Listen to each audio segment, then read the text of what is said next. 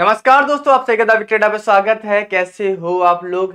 आप सभी की इंडियन मिलिट्री एकेडमी में, आईएमए में भर्ती आ रखी है देहरादून के लिए। ज़्यादा पोस्ट नहीं है, फिर भी आपको जानना ज़रूरी है। कोई बात नहीं, किसी एक का तो सिलेक्शन होगा ही यहाँ पर। तो वैकेंसी की सारी डिटेल आपको बताने वाला फुल सिलेक्शन प्रोसेस आपको पता चलने वाला है। कब से फॉर्म स्टार्ट हो रहा है एज कैटेरिया सैलरी वगैरह सब कुछ आपको पता चलेगी इस वीडियो में। वीडियो चलिए वीडियो को लाइक कर देना, इसका पीडीएफ आप सभी को टेलीग्राम पर मिल जाएगा टेलीग्राम से जुड़ जाएगा ठीक है? चलते हैं, वीडियो को स्टार्ट करते हैं। देखिए, सबसे पहले हम बात करेंगे वैकेंसी किसमें आई तो इंडियन मिलिट्री सर्विस में आई रखी है इंडियन मिलिट्री एकेडमी में। इसकी बात की टोटल वैकेंसी की बात की, सत्रह ही वैकेंसी ज़्यादा वैकेंसी नहीं है यहाँ पर, सत्रह ही वैकेंसी है बट कोई बात नहीं, ठीक है? फॉर्म जो फॉर्म की जो लास्ट डेट है, वो है सोलह अक्टूबर तक, और ये ऑफलाइन फॉर्म है ऑनलाइन फॉर्म नहीं है, ठीक है? और जो फॉर्म का पीडीएफ होगा, मैं टेलीग्राम पे प्रोवाइड कर दूँ टेलीग्राम से जुड़ जाना आपसे लिंक मैंने डिस्क्रिप्शन बॉक्स में दे दिया ठीक है भाई? उसके बाद इसकी फ़ीस की बात करें तो पचास रुपये लग रही है जनरल की S C S T O B C E W S और फिजिकली हैंडीकैप एक्स सर्विसमैन की कोई फ़ीस नहीं लगी ज़ीरो रुपये लग रही ठीक है? और जो पेमेंट करना है वो इंडियन पोस्टल ऑर्डर की तरफ़ थ्रू करना है आईपीओ के थ्रू करना है, आप सभी को पेमेंट वो भी बता दूँगा सभी को। फॉर्म जो है दो सितंबर, यानी आज से आप सभी का फॉर्म स्टार्ट हो जाएगा, सोलह अक्टूबर तक रहेगा। एग्ज़ाम डेट अभी बताई नहीं गई है। और यहाँ पर एज लिमिट जो है वो अलग अलग पोस्ट वाइज है। जैसे कि आप सभी के जो एमटी ड्राइवर के लिए जो पोस्ट है, वो अट्ठारह से सत्ताईस साल रखी गई है, ठीक है भाई? और क्वालिफिकेशन भी सब कुछ अलग अलग है। तो सर चल वैकेंसी की बात कर लेते तो एमटी ड्राइवर की भर्ती जो आ रखी है, उसमें आपकी सात वैकेंसी आ रखी है। यू की पाँच है एससी की दो है। इसमें दसवीं पास चाहिए, आपको हेड मतलब कि हैवी मोटर व्हीकल का ड्राइविंग लाइसेंस चाहिए और दो साल का एक्सपीरियंस चाहिए। दसवीं पास पे है, मगर कम से कम आप सभी पास हैवी मोटर व्हीकल का ड्राइविंग लाइसेंस होना चाहिए, उसके साथ दो साल का एक्सपीरियंस होना है। एलडीसी की तीन पोस्ट आई है एलडीसी मतलब कि लोअर डिवीज़न क्लर्क होता है, ठीक है? तीन वैकेंसी है जनरल की एक वैकेंसी एससी की दो वैकेंसी है। इसमें बारह पास मांगा है और टाइपिंग आप सभी की हिंदी और इंग्लिश मांगी है।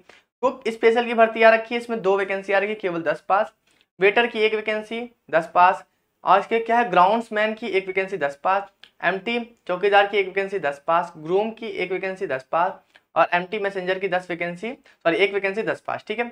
इसका सिलेक्शन प्रोसेस क्या होने वाला है वो बता देता हूँ आप सभी को।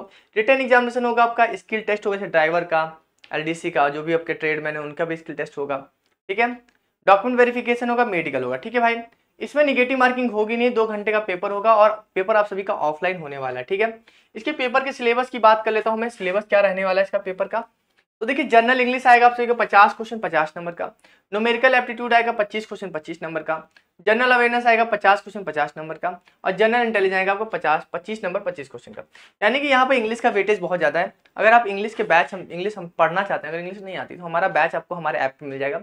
हमारे ऐप को ज़रूर डाउनलोड करें, वहाँ पर आपको इंग्लिश का बैच मिल जाएगा। और बहुत अच्छा कोर्स हमने लॉन्च किया है, आप इंग्लिश वहाँ से पढ़ सकते हैं, ठीक है? टोटल सौ क्वेश्चन आएँगे, सौ नंबर का पेपर होगा, ठीक है? अब इसकी नोटिफिकेशन की बात कर लेते हैं तो ये एप्लीकेशन फॉर्म भी मैं आप सभी को प्रोवाइड कर दूँगा। इसकी नोटिफिकेशन की बात कर लेते हैं नोटिफिकेशन कैसा रहेगा? नोटिफिकेशन आपको दिखा देता हूँ अप्लीकेशन फॉर्म भी दिखा दूँगा, उसको भरने का तरीके की अलग वीडियो बना भी दूँगा मैं, ठीक है भाई? देखिए, ये पूरा एक नोटिस आ रखा है, जिसमें सारी वैकेंसी के बारे में बता रखा है। क्वालिफिकेशन से लेकर सब कुछ, इसमें सब कुछ बता रखा है। नोटिफिकेशन भी मैं आप सबको, अभी मैंने शॉर्ट में सब कुछ समझा दिया। उसके बाद यहाँ सब, उसका सब कुछ दिया हुआ है, ठीक है? ये इंस्ट्रक्शन वगैरह दिया एज लिमिट दे दिया, अठारह सत्ताईस वगैरह फ़ीस वगैरह दे दिया, कैसे आपको फिलअप करना है, ये सब चीज़ें। वो सारी चीज़ें दे दी हैं यहाँ पर। और यहाँ पर सिलेबस भी आपको समझा दिया गया है कि इंग्लिश वगैरह कैसे आनी है मैथ वगैरह कैसे आनी है, सब कुछ आपको बता दिया गया, ठीक है? स्किल टेस्ट वगैरह के बारे में बता दिया गया।